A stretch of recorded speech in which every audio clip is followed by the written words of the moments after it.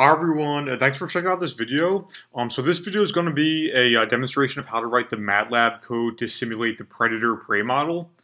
Um, so, and I've already made, um, I made one video previously just about this model itself, kind of walking you guys through uh, the equations of it for the ODEs. And I made another video about how to write the simulation for this model in Python.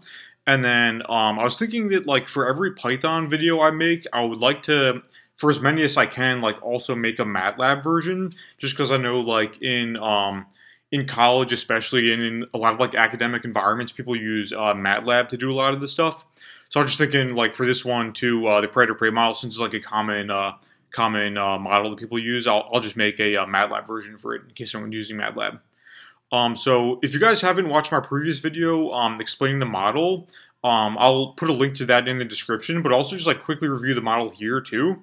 So we have two equations. We have an equation for um, the level of our prey population. So that will be um, just called x here. And then we have uh, y as the level of our predator population. And we can think of these as being like any kind of like predator-prey um, animals. So maybe we can think of the prey as being fish and the predators as being bears, for example. That's I think that was the example I used in my uh, video explaining the model. And then, so for the prey, um, we have a growth term and a, uh, a, uh, degradation term. So the, the growth term, the growth of the population is, um, it's defined by this uh, parameter alpha. So it's just alpha times whatever the current level of the population is, because they kind of, the, the more population there is, the more they're going to be reproducing, and the it'll be like kind of uh, the growth term is like an exponential growth term if we don't consider the uh, decay of the population. But then the um, the loss term of the population, the degradation term, um, it's so the first part of it is just like this parameter beta times the current level of the the uh, prey population.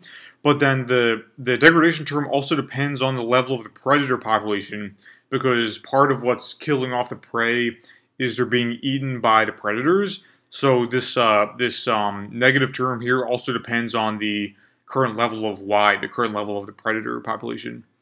And then so for the predator population, their their growth term here depends on this parameter delta, and it also depends on um, the current level of the prey population. Because for the predator population to be growing, they need to be getting something to eat, so they need to be able to eat the prey population.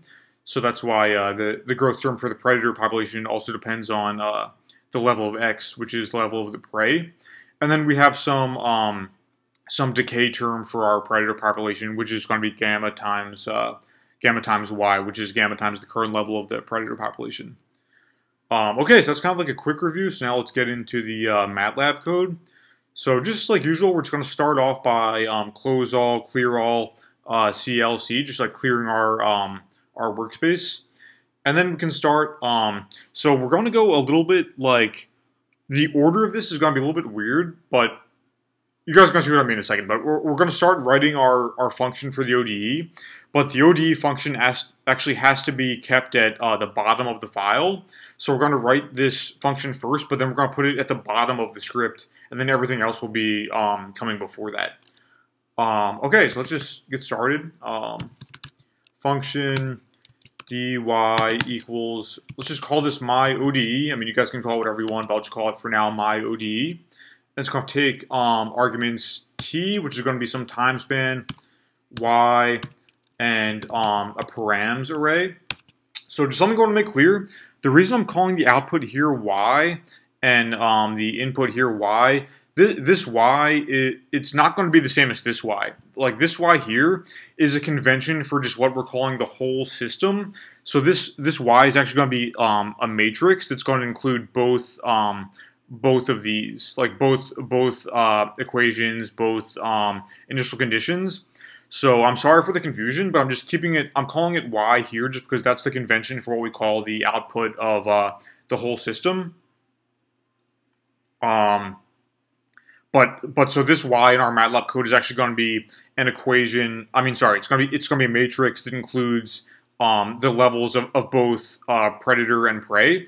And I'll, I'll call these, um, even though they're lowercase here, I'll call these in the code uppercase x and uppercase y. and then this lowercase y will just be um, by convention. That's what's used as like the output of the uh, ODE. Um, so this will be like a, a, matrix containing the levels of both um, uppercase X and uppercase Y at like every every uh, time point.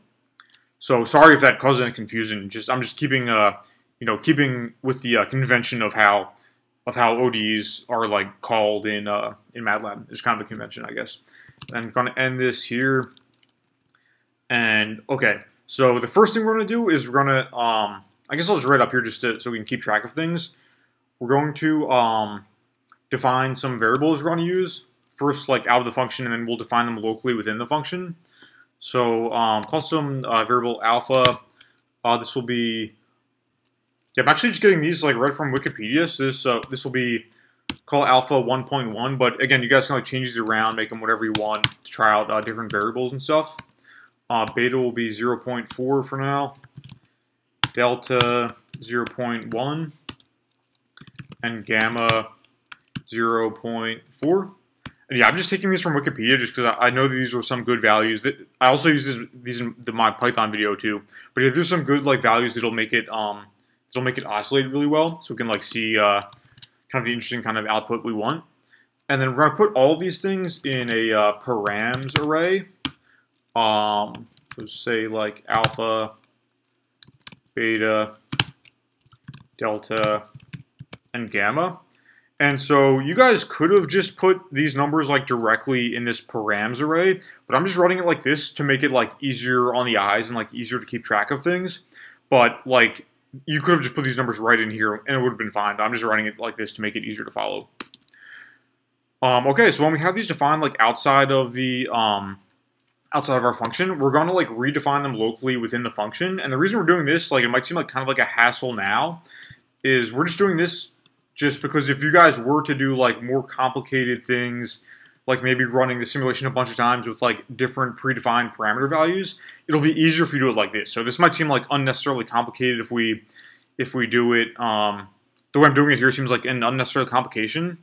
But if you guys are doing like more complex kinds of simulations, um, just running a bunch of different simulations with different parameter values, then it'll make sense to actually do it like this. That's why I'm show showing you guys how to like pass in uh, parameter arrays just for the future if you're doing like more complicated stuff. And this will be uh, easier. So we're just gonna, um, we're passing in this params array here. And so we're just gonna redefine all these, um, all these params locally within our function uh, just by, by using this params array that we're passing in. Um, so again, this will, if you guys are doing like more complicated stuff, um, this will actually turn out to be kind of easy, like make it easier on you guys. So we're just passing this uh, params array with all of our um, params values and just redefining them all locally here. So that's the first thing we do in our function. And then um, also, so we're going to define our uppercase X and uppercase Y values. So this is going to be, upper, uppercase X is going to be lowercase y. Remember, lowercase y is a matrix. I'm just calling it like that because that's kind of the convention of how we talk about um, ODE simulations in MATLAB. Um, same in Python, really, just calling it like lowercase y. That's uh, the matrix of our um, of our values. But uppercase x is going to be the level of the prey, and we're just calling that like the first the first value of our um, of our lowercase y matrix right now. And then uppercase y, our predators uh, predators level is going to be um, the second uh, second value in there. And these these are this is going to be like a matrix that has like two columns. Um, and just filling up the rows of the matrix with our uh, predator and prey values at each uh, time point. You guys will see in a second when we get the output. And then, um, okay. So then uh, dy, um, now we're going to actually write down our ODEs. So dy, you guys could also call this like dy dt, but for now I'm just, you know, calling it uh, dy. To make it a little bit easier, I guess. Um, we're just going to make, uh, make some zeros, zeros here. Um, it's it like that. And then, so now we're going to say um, dy1. This is going to be our um, first ODE, which is actually, again, sorry about the confusion with, uh, you know, kind of using lowercase y here and then calling lowercase y something else in a simulation. But we're just going to call these here like uppercase x and uppercase y. And then, so dy, the first one is going to be our first ODE here. So we're just going to say alpha times x, so alpha times our level of the prey, minus beta times x times y. And that's going to be our first ODE. And then um, second ODE is going to be the second uh, second row in this uh, this dy um, this dy array here. Um, so this is going to be delta times x times y uh, for the first term minus gamma times uh, uppercase y. And so in Python, we would have like a return statement at the bottom of this function, but in MATLAB, it knows we're returning this dy array here because we we set up here that that's what we're going to be returning. So we actually don't need any return statement in MATLAB, just uh, it already knows that we're pulling out the uh, dy array here. And then this dy array is going to have um, both of our both of our ODEs in it. And then so we're basically going to be like feeding this um, function into our uh, ODE solver and it's going to evaluate these ODEs at a bunch of like predefined uh, time points that we're going to tell it that we want the solutions for. Um, you guys will see in a second. But so MATLAB's kind of like weird about this because we're actually going to need to keep this function at the bottom of our script. So everything else we put in, we need to kind of like make room for it because this function is going to stay at the bottom. Otherwise, it's going to uh, like not let us do it. Um, but okay, so we've already we've already defined our um, parameter values and made this params array here that we're going to pass into the um, ODE solver. And next we want to have our initial conditions. So call this um, y0. Just, that's just another convention um, for what we call our initial conditions in uh, in like MATLAB and Python for ODE solvers. Uh, so we'll just call this um, just make an array. Start start with 10 of the prey and start with one of the predators. And you guys can think of this as maybe being like units in like the hundreds or thousands or something. Can like, uh, I mean, I'm not like I'm not like an uh, ecologist or something, so I don't really know what to even use for what would even be like an appropriate unit. I'm just kind of like showing you guys how it would be done um, in terms of the code. But yeah, you can call this like uh, maybe units in like the hundreds or thousands or something of the animal numbers. And then, so next we want to um, define our time span. Just call that, uh, sorry, t span um, make that from 0 to 50. Again, this can be any unit you guys want, maybe like years, maybe like months or something. Um, I'm not really even sure, like, since I'm not like an animal biologist, I don't really know like what unit is even appropriate to use. But yeah, just uh, you guys can make that, like, think about that, whatever unit you want it to be.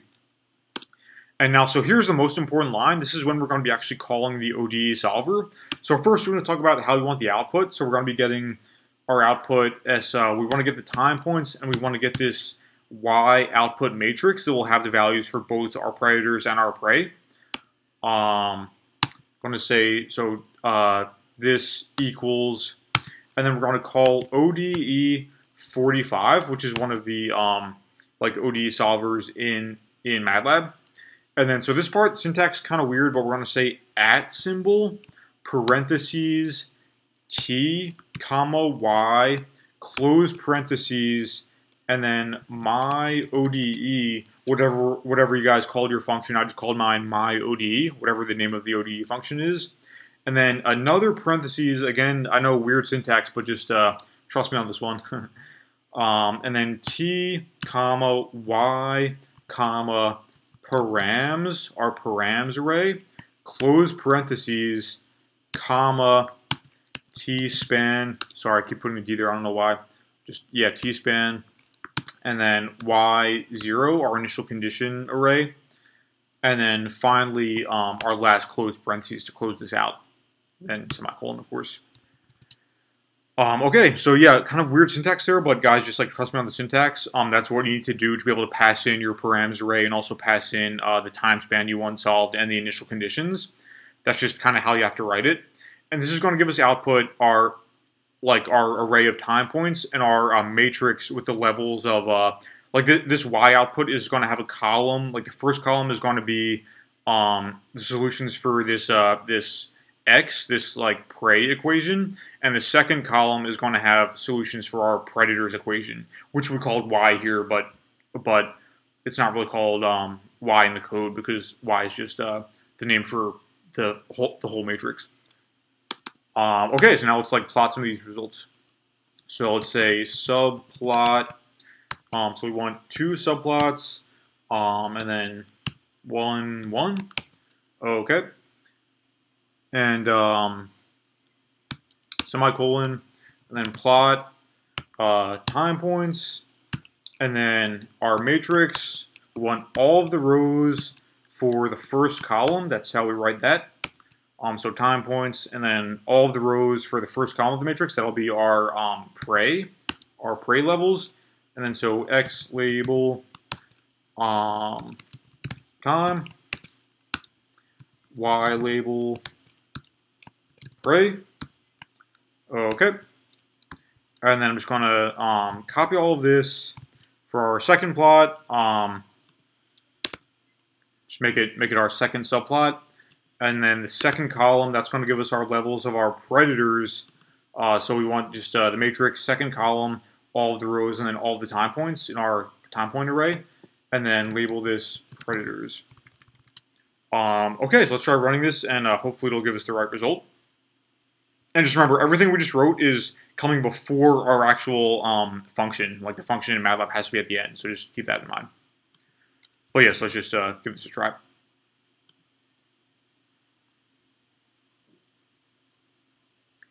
And yeah, so looks like we got the right output. So it's oscillating like the system's uh, kind of supposed to oscillate if you have the right parameters for it. Because um, as the level of prey is increasing, that means the level of the predators is also going to be increasing. But then as we get more predators, they start eating the prey like more. So the prey starts going down because they're all getting eaten by predators. But then if the predators um, can't get enough to eat, their population is, is going to start also dropping. And then if the predators population is dropping, then the prey uh, can survive more because they're not getting eaten as much. So then they start going up, and then predators also are getting enough to eat, so their their starts rising again, and that kind of oscillates like that. So that's kind of the idea of the predator prey model is uh, for the right parameter sets, you can get these like interesting oscillations in the system. Um, okay, so that's it for this video. Uh, like usual, I'm going to put the code up on my GitHub, and I'll link to the GitHub uh, in the description. Um, if you guys have any questions, just let me know in the comments. Um, but yeah, uh, thanks for watching, and uh, see you next time.